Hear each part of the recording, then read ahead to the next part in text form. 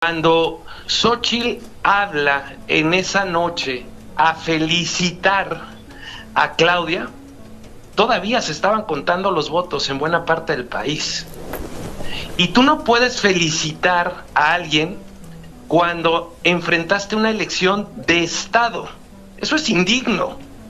Yo lo que pedí en el texto que se iba a leer es que se quitara la palabra felicitar y por fortuna se corrigió y se puso reconocer. Pero felicitar, si estás en una pelea de box, pues existen reglas. Si te dan arriba del cinturón, si te agarran a batazos, pues no puedes felicitar porque rompieron completamente las reglas del juego, porque fue una elección de Estado. Y es por eso que claramente les dije no.